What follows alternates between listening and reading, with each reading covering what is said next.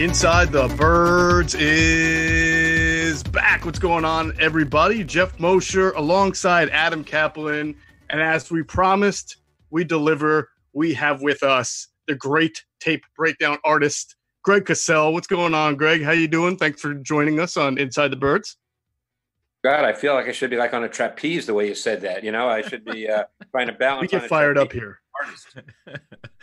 yeah, Greg, good to be with you. So, so before we get started here, I have to ask you this one question. What has your week been like leading up? Because I know you're gonna be you're taping some shows this week for the matchup show. Well, the last three weeks, the excitement of my life has been trying to figure out when to take a walk and when to shower. Yes, That's been the excitement in my life, and waiting for the next meal. Um, but uh, no, actually, we're we're taping two matchup shows on Friday. That one will air Monday night on ESPN two at seven thirty. The second will air Tuesday night on ESPN at seven p.m. Uh, so the last week or so, I've been I've been pretty focused, pretty busy. It's it's kind of weird doing it from home. There are some people at NFL Films. They're trying to obviously limit the number of people.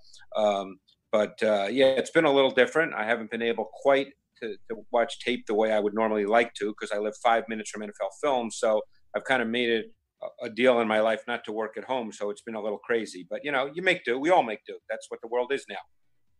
Well, we still trust Greg that uh, you know you're going to have great inside information for us or tape breakdown information. I should I should say uh, we've got a bunch of positions, got a bunch of players we want to ask you about. Obviously, Eagles. This is an Eagles podcast, but we do get into uh, other NFL teams, what they're looking at, and we want your opinion and expertise on all the guys that you've seen on tape. Real quick, uh, for those who are new to the podcast, they can follow me on Twitter at Geoff Mosher NFL.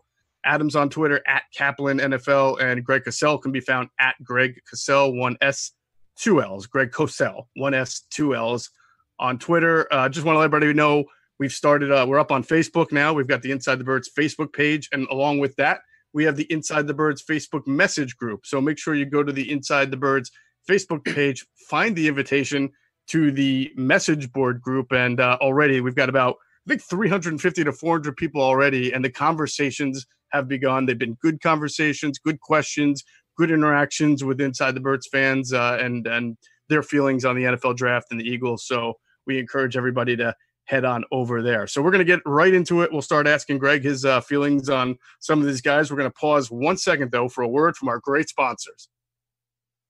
Hey, it's Geoff Mosher. Adam Caplan and I love using Anchor for our Inside the Birds podcast every week. It's so user friendly, anyone can create their own podcast, and you should too. Just download the Anchor app or go to anchor.fm to get started. Anchor gives you everything you need to start your own podcast from your phone or computer. Its creation tools allow you to record and edit your podcast per, for a professional sound and Anchor will distribute your podcast for you to Apple, Spotify, Google Podcasts, and so many other platforms. It can be heard by everyone, just like Inside the Birds. You can also make money from your pod with no minimum listenership. What are you waiting for? Download the Anchor app or go to anchor.fm to create your podcast today. The Earn Your Leisure podcast, hosted by Rashard Bilal and Troy Millings, examines the latest trends in finance. Listen as the duo interviews entrepreneurs from various industries as they break down their business models and share some of their hardships and triumphs that they've experienced along the way. Want to learn about the real estate game? Unclear how the stock market works? They got you. Interested in starting a truck company, vending machine business, or investing in the mobile home market? Then check them out as they've got you covered. Earn Your Leisure is a college business class mixed with pop culture. So if you want to become better equipped in business, head over to Spotify or wherever you listen to your favorite podcast and follow the Earn Your Leisure podcast today so you never miss an episode. All right, Greg. Uh, I think it's best. Uh, it's weird, even though this is an Eagles podcast. I think we're going to start off with quarterbacks because what your evaluation of quarterbacks, what you've seen, and then obviously the idea that if quarterbacks go higher, if there's three, four, or even you know five that go in the top ten or fifteen, it pushes other prospects down, right, in the draft. So other prospects that teams that don't need a quarterback like the Eagles might be looking at. But I want to start with quarterbacks with you. It's been a long journey, I guess, off season for Tua, uh, from Alabama, and all the injuries and everything. But just from a from a tape perspective, when you compare Tua and say Justin Herbert, um, what do you see as the strengths of those? And, and are there certain schemes you feel that that each quarterback fits best? Well, I'll say this to start. Almost every quarterback is a system quarterback. That's not a negative pejorative term. There's not many quarterbacks that are scheme transcendent. There's always a few. Certainly, someone like Patrick Mahomes is, but there's there's always a few. But almost every quarterback works best in a particular scheme that fits what his traits are. So you mentioned Tua and Herbert. They're totally different players. Tua is a highly rhythm timing based player. He needs that kind of scheme. If he were to reach his NFL ceiling, he would have to play stylistically like a Drew Brees. He's a rhythmic player. Justin Herbert is not that kind of player at all. Justin Herbert does not have what I would call ball distributor traits. Justin Herbert is more along the lines of, let's say, someone like Josh Allen. So it's a totally different style player. Herbert is not a, a great timing player. He's not a true rhythm player. He's more of what I call, and Adam knows this because we've talked for years about quarterbacks. He's what I've always called a see it, throw it quarterback. His sense of anticipation is not high level. Even a lot of his completions, he's a beat or two late. So you have to try to project and transition that to the league because normally in the NFL, if you're a beat or two late, you can get yourself in a little bit of trouble. Now, there are some quarterbacks that can have success like that, uh, but at times it will get them in, tr- in trouble. Little was a good example of that. Big arm, he was a see it, throw it quarterback, made great throws, but at times got in trouble. Greg, when you look at Herbert, and I saw this with Dak Prescott, they the ball's going to get there because they've got good arm talent. Herbert Herbert's an interesting player because he's got so much ability. But as you've studied tape for the decades that you've done it, can this be coached out of him in terms of getting rid of the ball faster, throwing with anticipation? Can, can that be taught? Um, I I don't know if it can be taught the way you're thinking about it. What you can do is through your your route concepts and combinations, you can try to create that. And that's where, when you study film, you have to try to figure out, and it's not always easy, the difference between anticipation and predetermination. Because a lot of times with route concepts, you can pretty much say, hey, here's our route concept. Here's the coverage we're anticipating based on our tape study. And therefore, it makes it appear as if the quarterback is throwing with anticipation. But it's really more predetermination. It's sometimes it's very difficult to figure out the difference between the two. Greg, before we get out of the quarterbacks here, uh, one guy I do want to talk about is Jordan Love because when I talk to offensive coaches, they seem to be split. That he, he and certainly he's polarizing to a point because he's got a lot of ability, but there, there's some flaws here. When you talk about traits, does he have the type of traits that can make it to the next level? Uh, what, what, kind of quarterback could he be uh, going to the NFL? Well, he's a traits quarterback. He's very toolsy. And there are times watching him. I remember studying him last summer after his 2018 season, and I made a note that I thought he'd be a top 10 pick in the draft oh. after 2019, of course, with normal improvement. But this year, the numbers weren't quite, quite as good. There were some concerns. In fact, when I do my sheets, I have strengths, weaknesses, transition, and I had seven weaknesses, which is a lot when I do a, a particular player. And there's much he needs to work on. He, he there were too many inaccurate passes. His his base and his balance, he had issues with that at times. But he does have a good arm. He's an over the top thrower. He's got more ball distributor type traits than, let's say, Justin Herbert. He certainly can make throws on the move. These second reaction plays have become more important in the NFL. To me, he's going to become very much a function, as most quarterbacks are, of coaching, scheme, overall team, players around him, five or six factors that will come into play. He's a quarterback that if he doesn't make it, I guarantee in a year, two years, three years, a lot of people say, told you so, told you so. Mm. But there'll be so many factors that will dictate whether he really has success. But he's got traits to have success.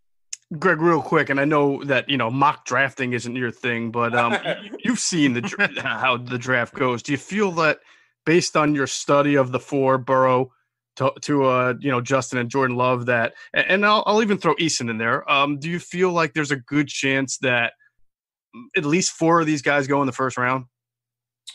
They're quarterbacks, Geoff. You know that. That's what's yeah. going to happen. I mean, we know that three will more than likely go in the top ten. Love mm-hmm. will be the wild card. Eason will be a little bit of a wild card simply because he's sort of traditional prototypical Uh, you know, if mm-hmm. Eason was coming out 20 years ago, people would probably talk about him as a top five pick. But because the game has changed and there's more of a focus on the quicker pass game and second reaction improvisational plays, Eason does not quite fit that mold. But someone could fall in love with Eason because it comes out so easily. I've been around him numerous times. I stood next to him at the combine as he hmm. was throwing. You know, Eason's one of those guys that just looks so easy throwing the ball.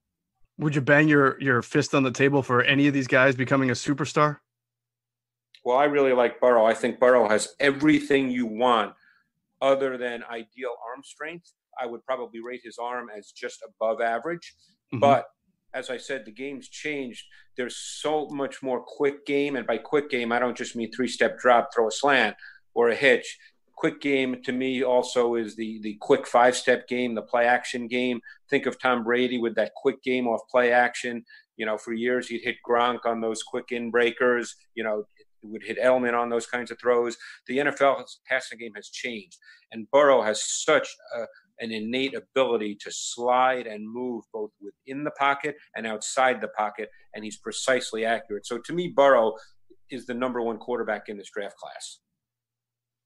Geoff, you want to move to receiver? Yeah, let's go to receiver. Um, I mean, we probably have a million questions for you on receiver, uh, Greg. But I, I guess the, the the first one that comes to my mind is trying to compare and contrast Jerry Jeudy and CeeDee Lamb, who will probably be the two guys taken off the board. Uh, they both obviously have unbelievable talents, but when you watch both of them, is there one of them that you are more convinced will be successful in the NFL than the other, or do you think they're both headed to be really good players. How do you feel about those two in particular? Well, I'm on record. I think that this draft class is, is receivers Jerry Jeudy and everybody else, but I know mm-hmm. I'm in the minority. Um, mm-hmm. I, I, just to me, Jeudy is just so advanced as a as a route runner, has an unbelievable understanding of how to run routes, has great quickness. Um, you know, I just see and and he's better vertically. He's an example of a player that has much better play speed than time speed. And in fact, in the matchup show, I'm showing two vertical routes because I wanted to make that point. Um, so to me, Jeudy is is the best receiver in this draft class. Uh, as I said, I talked to a number of offensive coordinators at the combine. Some felt that way, some liked Lamb. So smart, reasonable people will have different points of view on that. Um, I like Lamb. You know, it's funny when you do these, Geoff, and, and Adam certainly knows this based mm-hmm. on what I just said, people are now going to think, oh, he hates lamb. I, I, don't. I mean, Adam, you know how that goes. I know. Yep. I know. I know. We know. I, know. I just think Jeudy is, has special traits. I think Lamb is a really good prospect. I'm just curious. Um, you know, I think Lamb is is is. I don't I don't view Lamb as sudden or explosive. I think he's smooth and fluid. Um, I think he's a little straight line. I think he's got some spectacular run after catch plays when he has room to run after the catch. I don't think he's as shifty and elusive and as loose hipped as Jeudy. Um, so the question with Lamb is, and the game has also changed where receivers play a lot of different positions. I don't see Lamb as we speak today as a true X. He might develop into that. I think to me, Lamb right now is much more of a movement Z or a slot uh, and, and could be very, very good at it. But I think he'll need some development. Let me ask you a question on Jerry Jeudy. You've seen Jon Gruden's offense with the Raiders. You you you studied it. You saw him with the Bucs, of course. Is Jeudy a guy could line up anywhere for Jon Gruden? I think Jeudy can line up anywhere. Um, you know, Jeudy what did line up in the slot a lot at Alabama. Um, as by the way, Lamb lined up in the slot a lot at uh, at Oklahoma. Forty-two percent of of Lamb's receptions this year came out of the slot, and I think Jeudy's numbers were similar as far as receptions. You know, Jeudy had uh, a much actually a higher percentage, seventy percent. But Jeudy lined up outside as well. Um, you know, Lamb. It's funny; they're both about the same height, but Lamb just looks like a taller guy, even though they're about the same. So they're just different. Um, I think either one could fit Jon Gruden's offense. I think either one at 11 could fit Adam Gase's offense if he chose to go receiver at 11. Um, uh, I just think Jeudy has better overall receiving traits and is a far more refined, advanced receiver at this point. Let me ask you this question on Henry Ruggs: Is he just a a deep threat, elite deep threat, or he, does he have more to his game from your your coach? I think he has more to his game. And in fact, that's one reason I really enjoy watching full games because I could show you plays where he did not get the ball, where he ran phenomenal routes and beat hmm. quality corners, but the ball wasn't thrown to him. Um, I think Ruggs is is a guy who can be really effective at all three levels as a route runner. We know about his speed. I think he fits the NFL game with his ability to take it to the house on short throws. Plus, you can use him on uh, jet sweeps, orbit reverses. I think in many ways he's scheme transcendent. The only issue would have you'd have with Ruggs, if it's an issue, and we know Adam and Geoff, some teams this is important. He's only 188 pounds, so some might look at him and think, "Oh, he's small." But as far as that, everything else, he's I think he's pretty interesting. He's not physical in a strict sense, but he's highly competitive.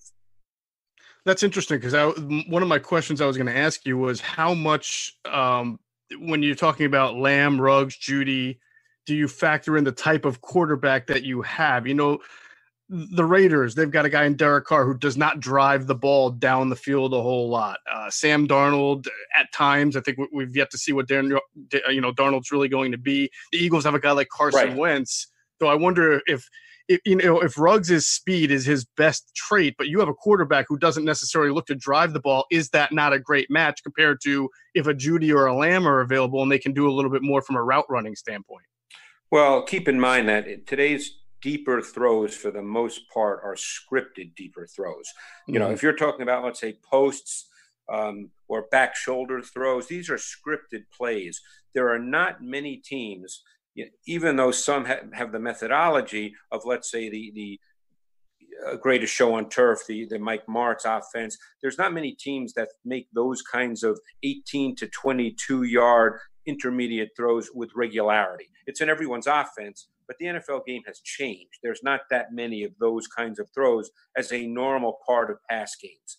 So I think verticals now are scripted much more so, and any quarterback can make those throws, mm-hmm. and you know any receiver can theoretically run those routes. Certainly, Ruggs can run anything vertically. Um, I think he's a great speed cut type runner. Those kinds of routes are kind of lost in today's NFL. That's what the Rams did. That's what that offense did when it was more in vogue in the league.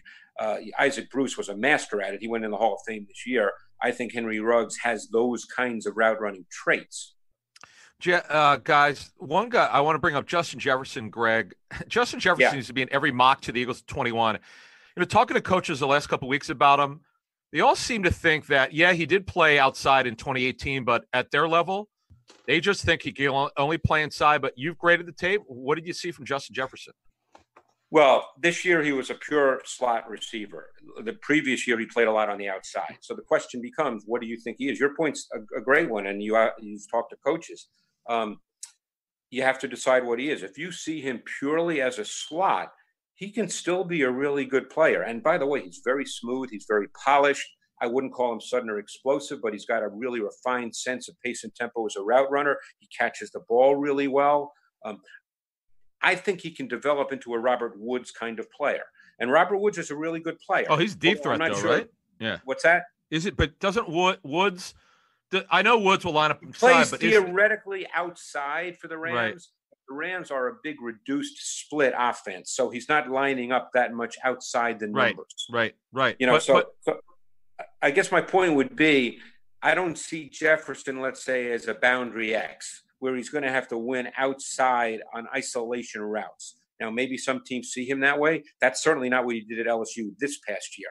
But so if you view him as purely a slot, that's okay. So the question is when you draft him, then you have to know that. And then you have to decide how he fits your offense. If you're talking about the Eagles and you feel they need they need speed on the outside, yes, uh, of course they're they're assuming DeSean Jackson's back being DeSean Jackson. But if you're still looking for speed at the other wideout on the on the edge, Jefferson may not be your guy. Would you feel comfortable if you were the Eagles and you alternate, Greg, between 11 and 12 personnel, where every time you're 11, he's your slot receiver, but when you go to that 12 personnel and maybe you're inside the red zone, you stick him outside and try to back shoulder him a little bit. As you said, he's not got great uh, tape speed. So, but can you, with his 33 inch arms, do you think you can find areas on the outside where you can win with him? You probably can. Um, the question is how often.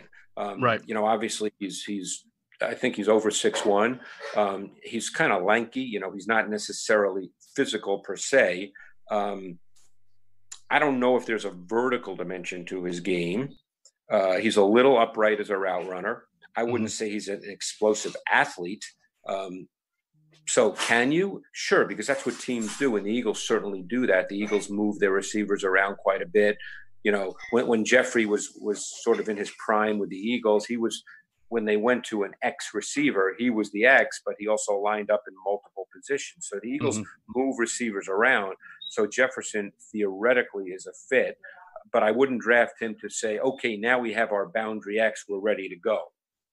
Greg, one of the just talking to a bunch of coaches, they seem to all love Brandon Aiyuk from Arizona State. They know he's not quite a burner, but he's incredible running after the catch. Give us an idea at the next level how you think he could fit in.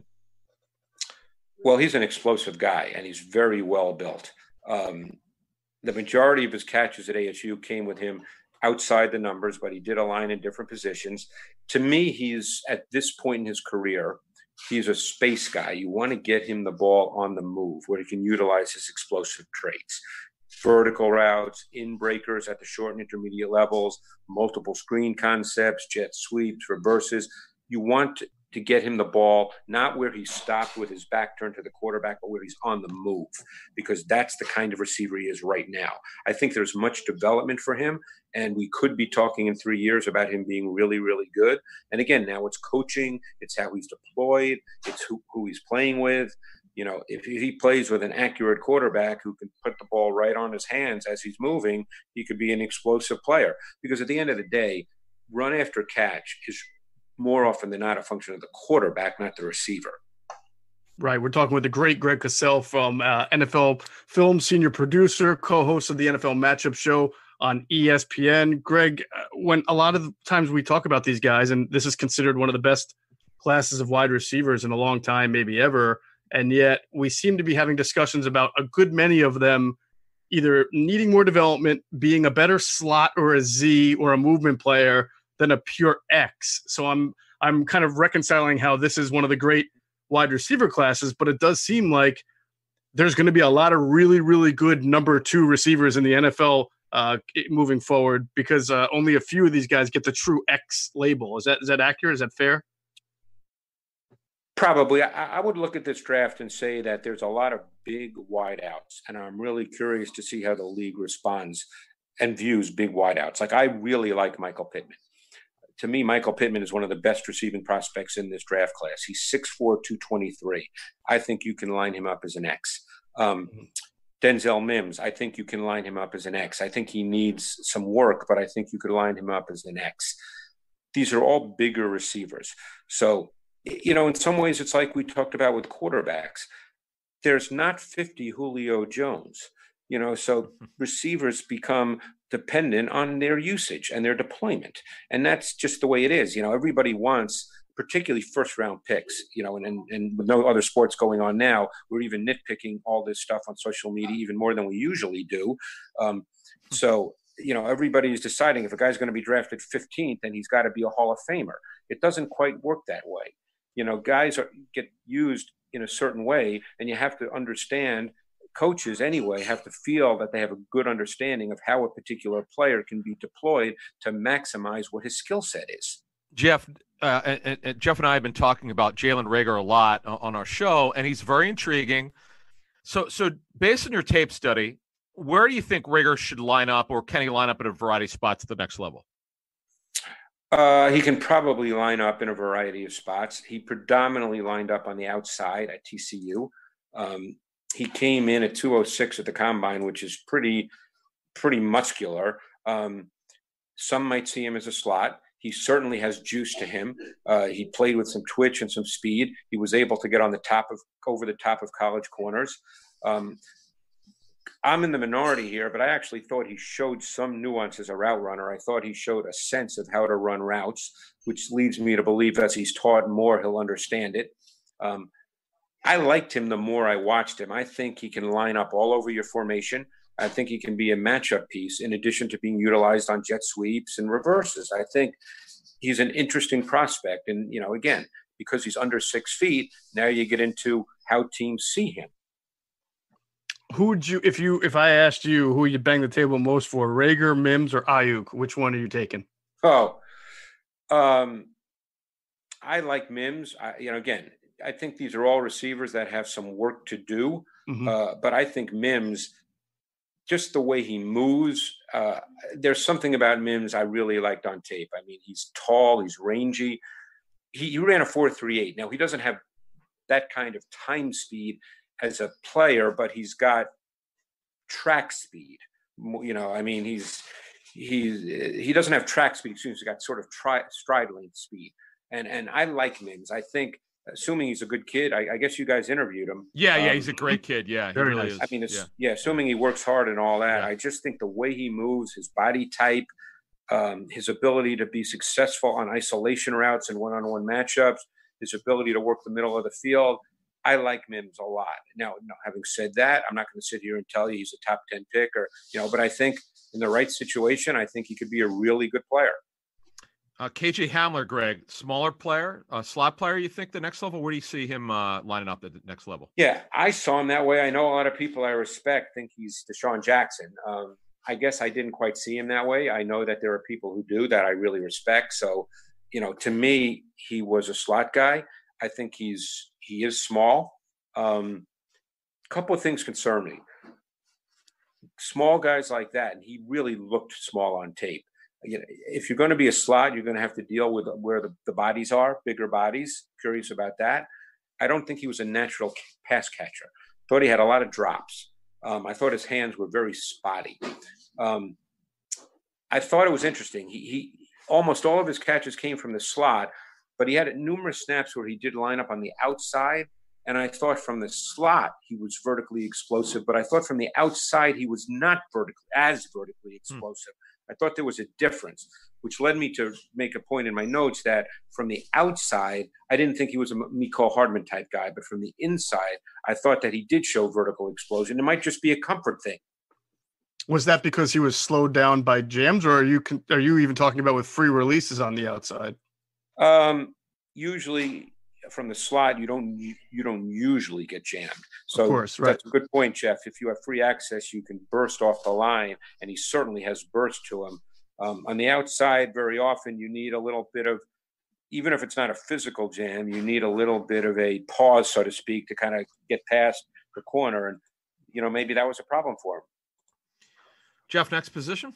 Yeah, let's go on to uh, pass rushers or now uh, you know the edge rushers. Um, I think you know from, from an Eagles standpoint, Greg, it would be interesting if a guy like the kid from LSU fell there and a bunch of receivers went off the board already, and you know who fits. You know, I, I think about him and and Yetur Gross Matos from Penn State. What, what, do you think about Chaisson and and and Gross Matos from from that standpoint? What schemes do you see those guys excelling in?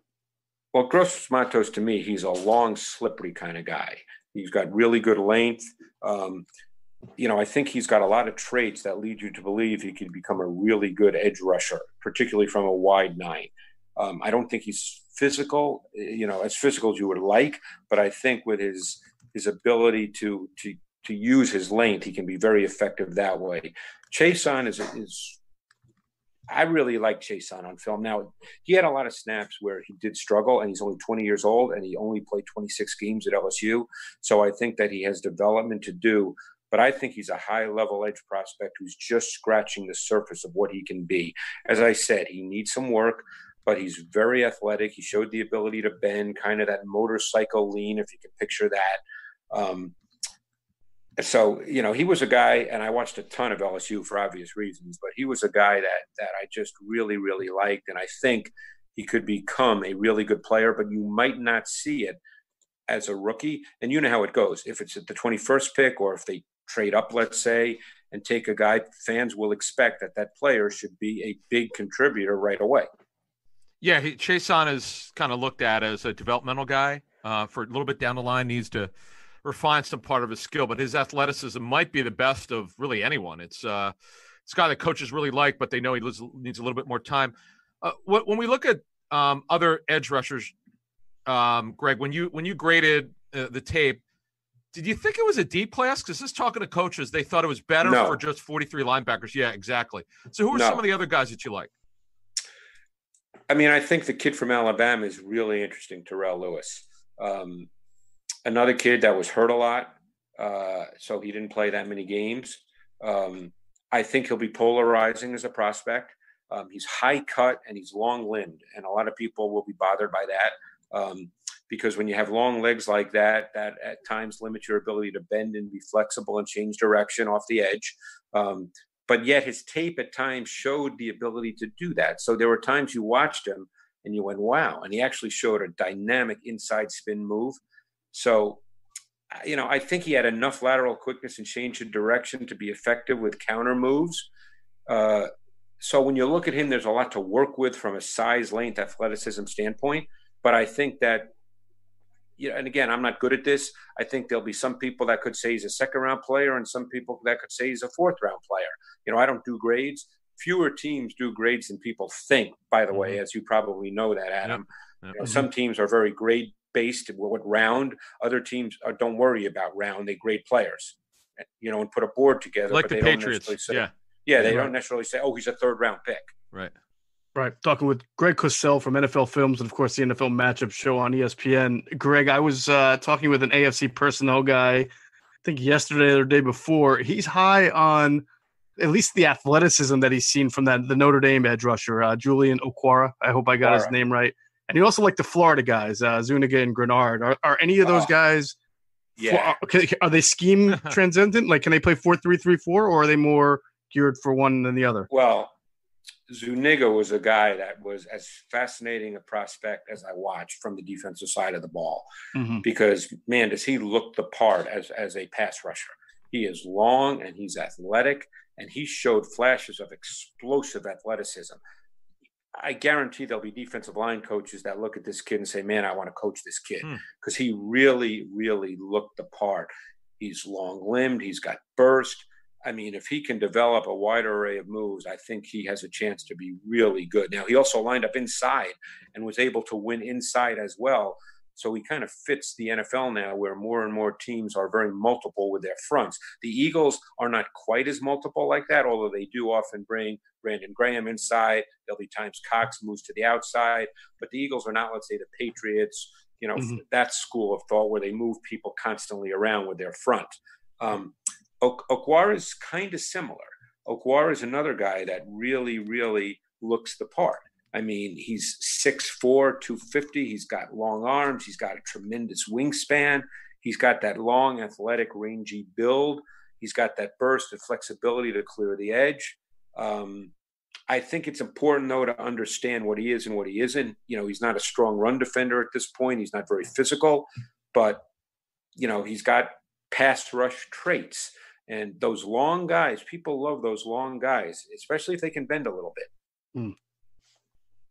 All right, let's move on. We're going to do corners and safeties, uh, Greg, because I know that that's a, another area that Eagles fans are really keying in on. So I want to ask you about corner. I- I'm going to think that Okudah is gone and, and probably CJ Henderson when the Eagles pick. Uh, after, after that, it kind of feels like a, you know, just what do you like? If you're the Eagles, you you know the scheme that Jim Schwartz plays, and you're looking for a little bit of speed on the outside. Are you a Tre- Trevon Diggs fan, a Gladney fan? I, I personally like Jaylon Johnson. I know he just had uh, Right. a, a procedure, but who do you think fits Jim Schwartz's scheme uh, the best of the of the after Okudah and Henderson? Um, well, I like Diggs a lot. Um, you know, I think that um, Diggs to me, and and he's long, he's athletic, he's he can run, um, he's physical, he's tough, he's competitive. Diggs was a guy. The more I watched, the more I liked. Now, I don't know whether he's for everybody. You know, I, I you know, but he was really physical in press you know, more and more teams play man coverage now. That's the way the NFL has moved. Um, you know, I, I think you need to be able to play press man. And uh, I thought he was one of the better corner prospects in this draft class, to be honest with you. Um, but, you know, Johnson's probably an interesting guy as well. He's long, he's competitive, he plays the ball well. I think he's really aggressive playing off man, and the Eagles tend to play some of that as well. So Johnson could be a very interesting fit as well in the Jim Schwartz defense. Uh, um, who else did you mention? Uh, Johnson, anybody who you thought like the AJ Terrell, Fulton, anyone who falls in yeah. your mind in that really good cover one, cover three man type scheme. Yeah, I mean, look, any LSU corner plays a lot of man coverage. I mean, that's what LSU does. I mean, LSU and Ohio State have become sort of the man corner factories. Hmm. Um, Fulton was fascinating to me. I know a lot of people love him, um, and his tape was littered with with plays where his balance and his body control were problematic, where he took false steps. But in college, he always seemed to recover and make plays. So the question is number one, can that be coached? And number two, is that going to happen in the NFL against better receivers? Uh, certainly played in the SEC, so he's playing against quality players. But yeah, I thought there were con- some concerns with him. Um, so so Fulton's interesting, but um, uh, you know I, am not sure. He he was a guy I kind of struggled with. Oh, Greg, let's turn our attention to safeties. Give us a, a little bird's eye view of some of the guys you've seen and uh, kind of how they fit at the next level. Well, you know, I think the game has changed to where sort of these multi-dimensional safeties, or now I guess the term people use is positionless defenders. Hmm. Um, I think Xavier McKinney fits that role. He kind of reminds me a lot of Chauncey Gardner Johnson, who was a fourth round pick last year, but played. I remember speaking with Dennis Allen, the DC for the Saints at the combine, and he was telling me he played four or five different positions in their defense. And I think Xavier McKinney is kind of like that because he can play on the back end. He's probably not a pure post safety, single high safety, but he can do it. He certainly can play in split safety looks. Um, he played over the slot. He can drop down in the box. You know, he's one of those multi-dimensional players. You know, with that kind of skill set and that kind of position versatility, and I think he's really competitive. He's a really good blitzer.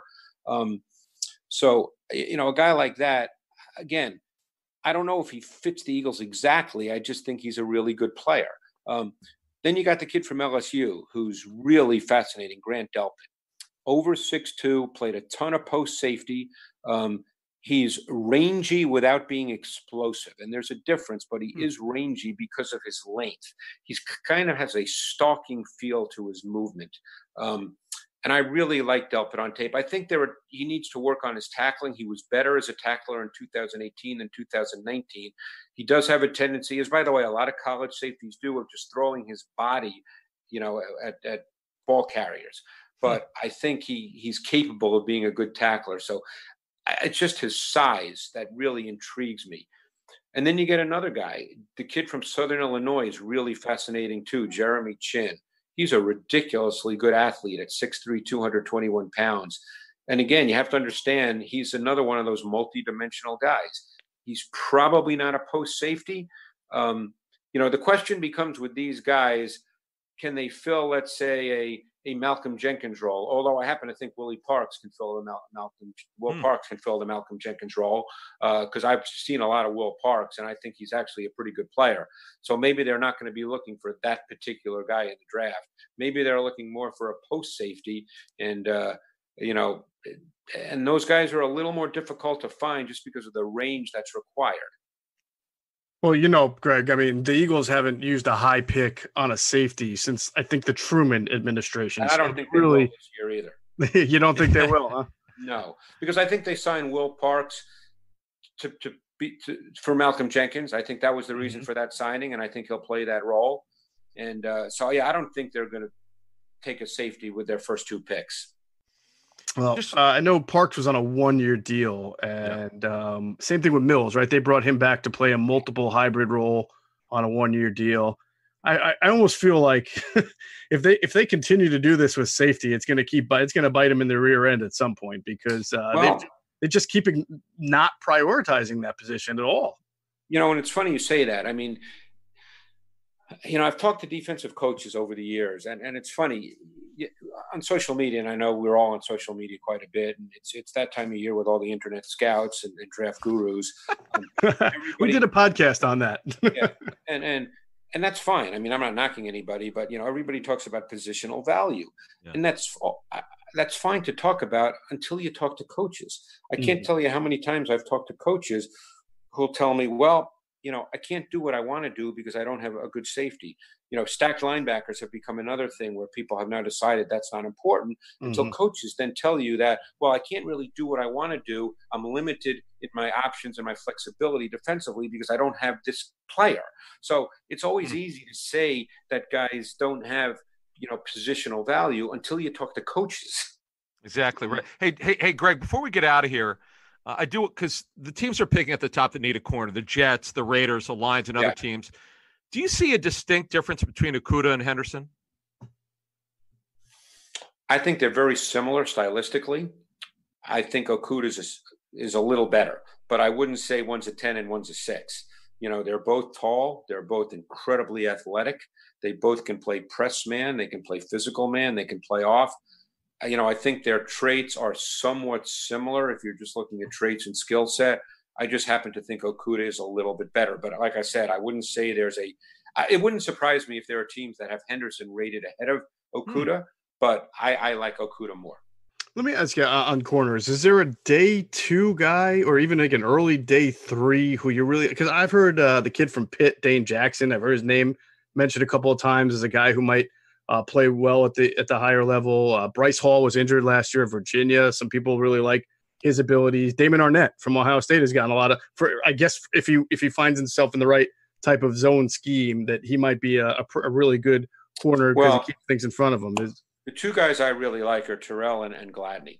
mhm. Uh, Terrell's over six feet. You know, he's long, he's athletic, he can play press, um, he's smooth. I really like him. Mhm. And you have to watch the entire LSU game. People saw a couple of bad plays and figured that, oh, he got burned. That was not Hmm. the case if you watch the whole tape. Gladney will be fascinating. Gladney is actually just about the same size as Tre'Davious White. Now, Tre'Davious White plays on the outside in the NFL, and he's really good. So the question for teams will be: Is Gladney an outside corner, which is what he played in college, or do they see him as moving inside? I think he can do both, depending on how you see him. But those two players, I really, really like. Again, I can't pick where guys get drafted. I can tell you that history tells you that the two positions that end up with the most draft picks in pretty much every draft are wide receiver and corner. Right. So corners get drafted. Gladney, uh, interestingly, was uh, singled out by Denzel Mims when we had him on last They week. Uh, he said that Gladney was the toughest corner he's faced all Mhm. year. I watched that tape. They had a great see Gladney is super super competitive. See Mhm. Gladney can play in the slot because he's really competitive both mentally and physically. And keep in mind when you play in the slot, it's teams now line up with three wide on first and 10 or second and 4. So when you play in the slot, you have to be able to play receivers who have a two-way go. You've got to be able to play the run and you've got to be able to blitz. So you can't just say put a guy in the slot because he's shorter. You know, there, there's a Hmm. specific skill set now that slot corners must have in the NFL. Mm. Greg, we, we can't thank you enough for coming on. It's been awesome to hear you break down these guys for us. We appreciate all of your wisdom, your insight. We know how much work you put in, so we value uh, everything you tell us. Um, I'm, let me just tell everybody again where they can find you on Twitter. It's at Greg Cosell, C O S E L L. You are NFL Films senior producer and, of course, the co-host of the NFL Matchup Show on E ESPN, which airs Monday 7:30 p.m. Uh, on ESPN two and Tuesday 7 o'clock p.m. ESPN two. Did I miss anything? No, I think we're good. Well, we are good because we had you on the show, man. We really appreciate it. Appreciate Thanks it, so man. much Thanks. for joining us. Hey, thanks, guys. I really appreciate being with you. Thank you. All right, that is the great Greg Cosell, and we are going to pause right now for uh, another word from our sponsors, and then when we'll come back, it'll be Adam and I rounding out the podcast with some things we've heard leading up to the NFL draft. Thanks again, Greg. Thank you. All right, everyone. No sports, no problem. DraftKings Sportsbook has an endless amount of casino games to play from the comfort and safety of your own home. And right now, all first time casino players on DraftKings Sportsbook can get up to $200 to play risk free for the first 24 hours after downloading and signing up. Download the DraftKings Sportsbook app right now and find the casino games in the top navigation bar to start playing.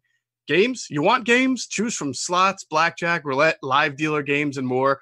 DraftKings is a legal, safe, and securer than secure gaming app. You can deposit and withdraw your money at your convenience. Plus, DraftKings has new promotions every day, so be sure to check the app daily. Download the DraftKings Sportsbook app now and use promo code ITB to play up to $200 of casino games risk free. That's promo code ITB to play up to $200 risk free for your first 24 hours of casino play on DraftKings Sportsbook. Must be 21 or over. New Jersey only. Restrictions applied. See DraftKings.com slash sportsbook for details. Gambling problem? Call 1 800 Gambler. All right, Adam, real quick, before we get into some other things, you know, obviously we just had Greg Cosell on. He was tremendous. One of my Oh, biggest takeaways Yeah. from him at wide receiver was he is a big Denzel Mims fan. Yeah, how about that? I mean, it's interesting, Geoff. I I felt all along he would be a second round pick. Top, he's a top forty pick. Okay, Mhm. that's that is the way the league sees him. Now, he could go in the back of the first round. You you, you can't discount that because when you're the 49ers, right? They, they want speed opposite Deebo Samuel. That that's what I've been told for months. I still think that's the case. Who's to say that they wouldn't draft him? Okay, the, the Dante Pettis has not worked so far. They're loo- they're looking for a wide receiver. Um, 21 for the Eagles is a little bit early. Uh, they've done their work on Mims, just like they've done their work on a lot of these guys. Uh, they do like him. I don't get the sense that they would draft him at 21. Um, but you know, w- we don't know what Howie Roseman's thinking. But I Mm. just, just my intel says that the t- National Football League teams have him a little bit later. But I learned my a lesson with John Ross. Um, not comparing Ross to Mims, but in terms of being surprised by something. That no, that one was the shocker of that draft when John Ross came out. I still, I'm still like, I haven't gotten over it. Yeah, I mean, he was just going the second round. He went, at, I think maybe number nine to the Bengals, something like nine or ten. nine. I'm still surprised how high Corey Davis and Mike Williams went in the in their. Oh, I'm going to disagree with you. well. Like you and I were, you and I were working for 97.5 The Fanatic, Uh-huh. and I had to go to defend. I had to defend the Titans. I said, look, he's a guy. It's really Corey Davis. He went to one of those like Central Michigan, Central Western- Michigan, I think. Yeah, Yeah, like that. One of those. Yeah. Yeah, yeah. So he was a guy that a lot of lot of bit like a lot of personnel guys like. He, he didn't. The Mhm. public didn't like him as much as personnel guys. Now he's been inconsistent. Um, as we put on our show a couple weeks ago, I was told that uh, his issue is his issue is getting off press. He's real good at zone. He just doesn't pre- be pressed well enough. hmm That's why he's not been as good as they probably had hoped. Right. He's flash, but he's been inconsistent. Um, you know the Mims. I wasn't shocked that he was picked high. By the way, I just didn't think he was going to be the fifth overall. Pick. Right, I get it. I get it. That's. Um, Yeah. but but with Mims, boy, I I you know Greg and I don't. Uh, Greg and I talk. He comes on a show with uh, John Hansen and I on uh, every Friday Mhm. on Sirius XM Fantasy Sports Radio. It has for I don't know 15 years. Um, we've talked to him about Mims, but I've not heard him. That's the strongest I've heard him talk about Mims. Another guy, the only guy we didn't really get to, I wanted to get to at receiver with him. Mhm. He loves Laviska Shenault. I mean, he he, and it's funny talking to receiver coaches, uh, Geoff. They all say the same thing. If he came out last year, he's a top 15 pick, Mhm. but he's got such injury concerns. I just don't see him going in the first. You, you have to be, as I, as I wrote for our website, Geoff, you have to be so secure in your job that you're not worried about taking him late in the first because if he doesn't play for you in the year one, you're fine because you you know you're not getting fired. You just got to be careful with him because he's got to get over this injury, these injury issues, which have been well documented. All right. Um, let, us talk a little bit more about you know because now we we record this on Wednesday, April fifteenth, so we're eight days away from the first round of the NFL draft. A little less since we're doing this at night, right? Yeah, and we're dropping it a week, exactly a week from the draft, so that's you know that, where that's right. Yeah. So let's try to figure out a little bit more. First of all, there's a lot of stuff out there, and you know, Oh my god, we've said this before. We're not going to address every single. what's happened this week? What the hell's going on with these? I don't know. Today in particular, two different radio stations dropping like really big trade rumors, but uh, that happens. We know it's a silly Yeah. season. All, all I can tell you is this: from my homework, I've looked into it. Um, the Okay. Eagles are having quote unquote strategy meetings uh, coming up here. To like I said, we're recording this Wednesday, so Thursday and Friday are strategy meetings, and in those meetings is when they kind of do that, like.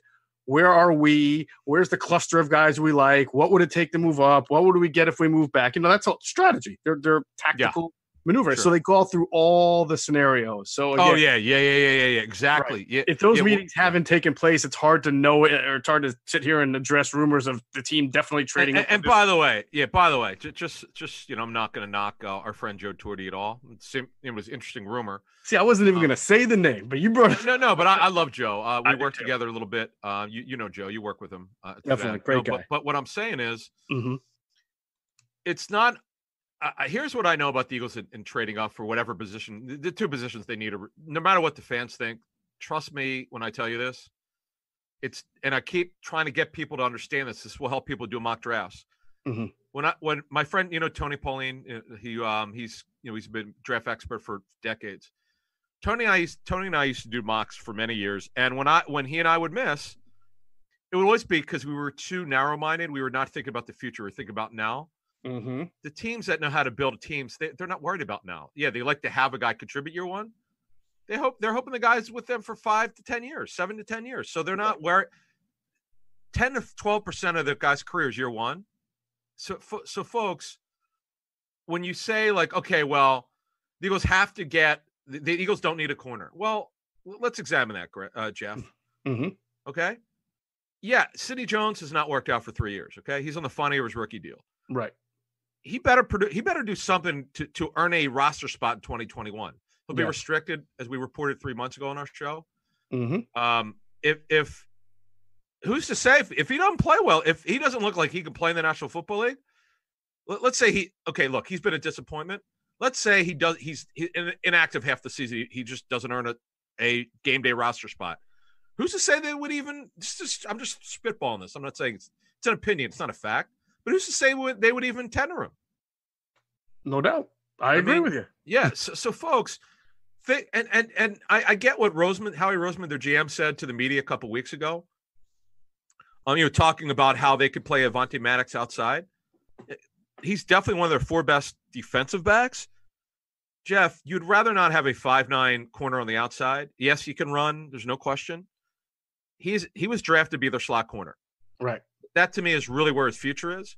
To think because they have four guys, well, you know, they, they have you can't draft anyone because they drafted Jones and Maddox and Douglas, folks. You could have ten corners. Doesn't matter. It what matters is who do you trust. Right. They don't trust anyone long term on the outside. That's a fact.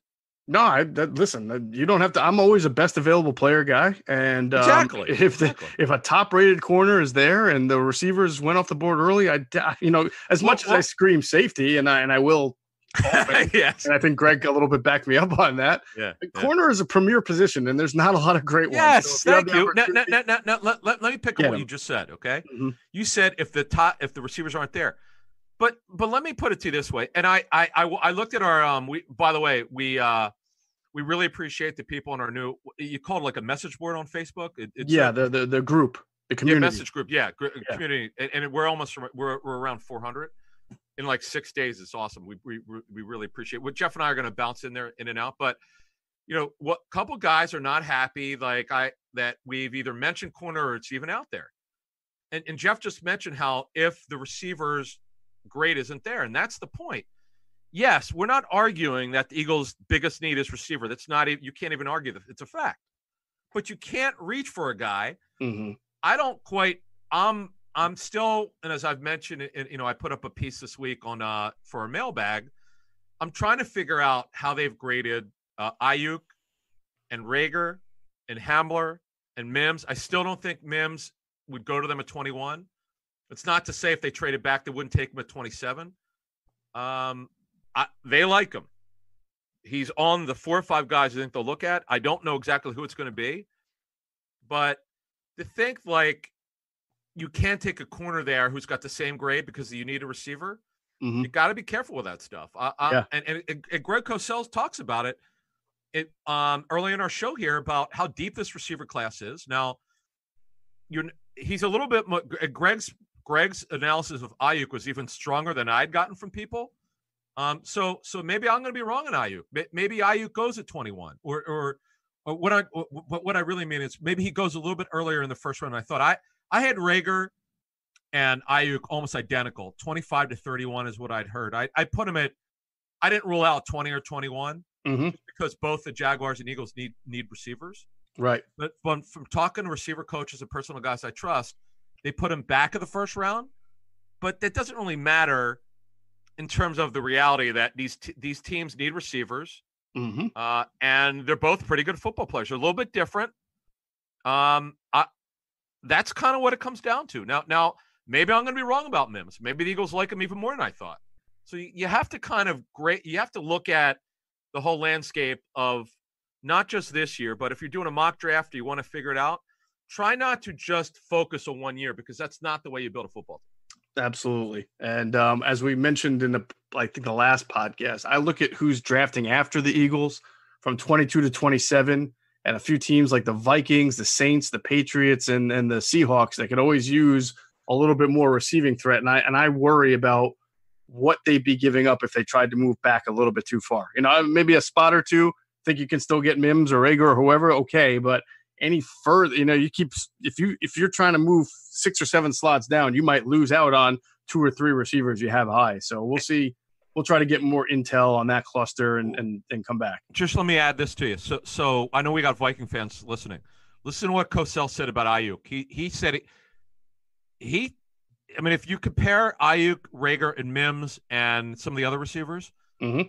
he did say Aiyuk, Aiyuk can do the explosive stuff. Now, it, his thing is he's talked about run after the catch. You, you know, that's what Aiyuk's known for. But listen to what Greg said. He's a little bit more explosive than we thought. Um, he throws a wrench. You're right, Geoff. 20. Let, let, me give you the receivers, teams that are looking for receivers in the first two rounds. Mm-hmm. 20 to 32.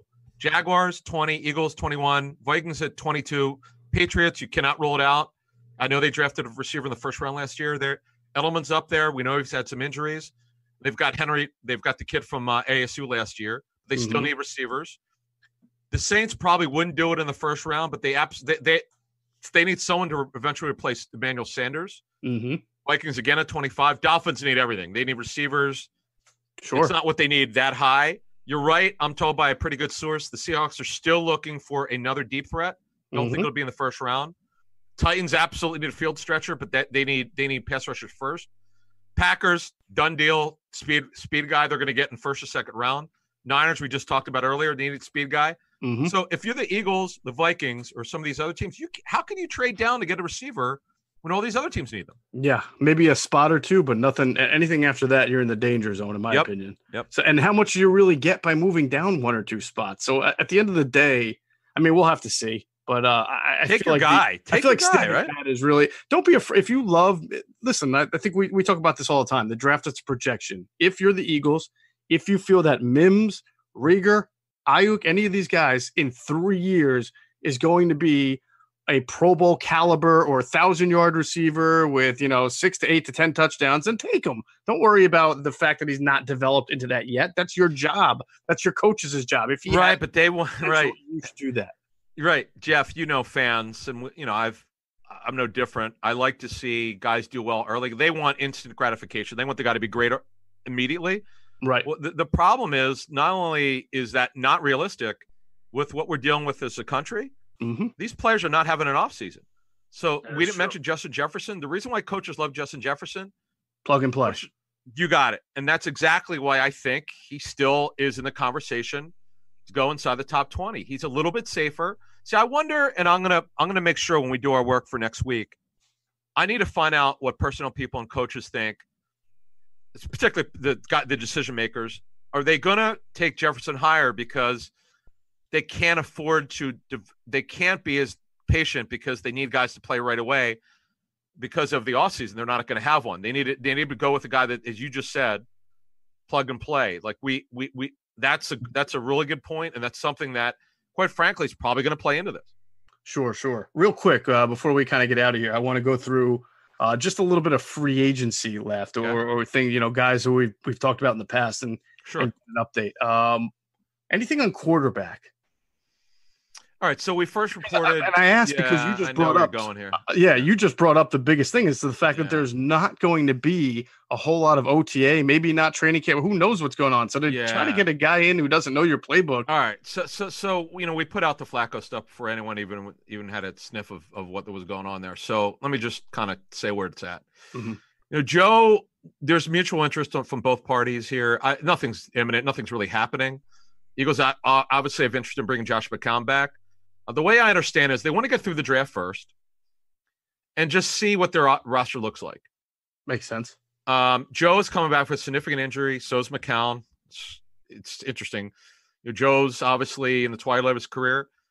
I, my sense is, based on intel, is that he's wherever he goes, he's willing to be a backup. Um, Josh McCown knows he's a backup wherever he goes. Mhm. Uh, the Eagles, the Eagles, you know, really like Nate Sudfeld, but he's never started an NFL game. Um, that's right. just the reality. That, that, Nate was told that he'd have a, a, a, real chance to win the number two job. He obviously knows this offense well. Uh, he's been in it now three years. Actually, this will be his fourth year. Hell, Jesus. Right, and that's big, by the way, knowing the yeah. offense well because they need yeah, somebody. God. Where's the time gone? Is it seven? Yeah, they got him in the fall 17. They're yeah, this yeah. be his fourth year, right? 17, 18, 19, yeah, 20. So, um, yeah, so so that's where that is. You know, running back, we got asked about LaShawn McCoy. Here's the deal. The Eagles have interest in, you know, they, they have interest in getting a running back in this draft. Somewhere, you know, third day, maybe fourth or fifth round, uh, possibly. Um, I think it's still be with a guy with size. If they don't get a running back, Geoff, they're going to have to look at a running back, a veteran with some size and experience. Mm-hmm. I'm not going to rule LeSean McCoy out uh, because he's a plug and play guy in terms of knowing the offense. But mm-hmm. Geoff, the issue that you have is he was inactive as a healthy guy for the Super Bowl. Right. That's you know like does he have anything left? But I was told that the Eagles have not ruled that out, bringing him in. Um, I wouldn't put a high percentage on it. Um, the guy that I thought that maybe they would have some interest in um, because he knows the offense is Spencer Ware. I'm told mm-hmm. they're not on him. Mm. Um, uh, I think now a couple of weeks ago I, I, brought up I thought you know the longer he's out there the better it is to get him on a on a you know a good deal or whatever. But a guy like oh. uh, Devonta Freeman from Atlanta. Oh yeah, I I would I see the thing is yeah he'd fit from a gosh he's got a ton of experience and he's you know he's a good football player. He's had a bunch of injuries. Yeah. Um, see, Devonta Freeman's going to have to be realistic. Um, mm-hmm. you know, now that unless he gets signed before the draft, he's only got a week to do so. That whatever he thinks he might get, that money's going to be going down and down and down. Um, you know, he he has to understand wherever he goes, he's going to probably be the number two. Right. And that's just what he is right now. Um, he's not old, but it's to the point now you have to ask yourself this question: if if you're a Devonta Freeman, are you willing to accept not only a backup role, but to the point where it, you might be done starting? That's just kind of where he is. And um, well, you know what? He he he just turned 28. You figure he's got two years left in him, Geoff. But. Um, I would like him more than McCoy, but he's he's clearly going to cost you more than McCoy. He's younger than McCoy. He definitely has more left, but you also again get concerned about the injuries. Now, the last guy I want to talk about, I still get, and I bet you do too. I get fans reach out to me all the time asking me why Alshon Jeffery's not on the team. And I keep saying the same thing. What purpose does it serve to just cut him right now for the sake of cutting him? He's hurt. He's got to get healthy. There is no football right now anyway. It's not like he can do anything in the locker room. I think it's a little overblown about his him in the locker room. To me, it's more that he wasn't a he's an aging and not as productive player that he used to be. But if Howie Roseman can hold on to this guy to the point where it's the next season, somebody needs a, wide receiver, he can make a, a deal to get maybe something, anything in return then why not? I don't understand the purpose of having to cut Alshon Jeffery right now. Yeah, just a couple things. Number one, I've known this for the year. He's not disruptive. Uh, obviously, there's some stuff that's been attributed to him. Um, whether you want to believe it or not, um, that certainly factors into the player's evaluation. But uh, I've talked to players about it, front office. He's not disruptive. I mean, I, I know that again. You question some of the stuff that's been attributed to him, and that's fair game. Mm-hmm. But um, the issue, first of all, they've they they owe him the base salary plus the option bonus. You're talking about over 11 million. Um, they're not going to cut him and own this. It's not. I don't see any way they're going to cut him right now, as you just outlined. Um, it would behoove them just to wait till he gets healthy. When let's say by August, Right. Let's, let's assume he's running by July. They, they they'll have a better idea on him. Hopefully that they're allowed to watch him in their own building because they can we could everyone could come back by then. We just don't know. Um, but I, I think I know it's not going to stop people because everybody wants they want a resolution. They don't need it. Geoff just outlined it. I couldn't do it any better, and I really that's kind of where it is. They don't need to do anything. Right. All right. I want to thank our friends, Adam, at PHLSportsNation.com continuing to enhance the fan experience with their coverage of the Flyers, the Sixers, the Phillies, the Eagles, uh, their podcast, their great content that they're churning out all the time. So head on over to phlsportsnation.com, give their work a read. It's very good content. Uh, and that'll do it for Inside the Birds, the leading podcast in Eagles Intel. Want to uh, give a big thanks to Greg Cosell of uh, uh, NFL Films and, of course, uh, the matchup show on ESPN. Uh, he does a great job, and I hope everybody really enjoyed his intel and his insight in going through these college prospects. And I want to thank our producer, Hunter Brody. Make sure you check out his work on YouTube, Sports Talk with Broads, and check him out on Twitter at Broads81 as he continues to put out great content as well. Make sure you're visiting our website, InsideTheBirds.com. We've put up, uh, uh, Adam put up a mailbag. We've got uh, everything we did on wide receivers uh, last week in the podcast, we put in story form. We broke it up into two stories and gave you all of our sources, uh, intel on each receiver along with their measurables. So if you haven't, if you hadn't heard the podcast yet, or you just want the the uh, what do they call it, the abridged cliff notes on these wide receivers and and what NFL people think about them, you can go to InsideTheBirds.com right now, check it out, and uh, we'll have some interesting news going forward. We've got some good stuff planned for next week, draft week. We got some videos. Adam, you don't even know this. I just got a text message. I think okay. we're going to be joined.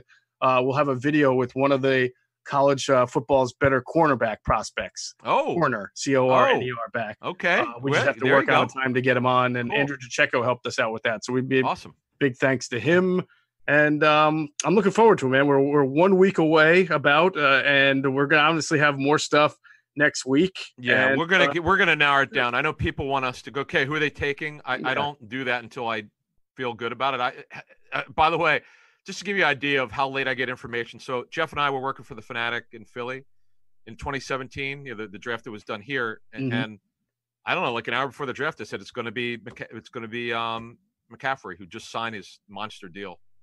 Uh, I said that's who it's going to be, and then I later found out if they didn't get that done, it was going to be Dalvin Cook. Um, something complicated it, but um, that so so so I still don't think they'll do a linebacker the first round. I, I just don't.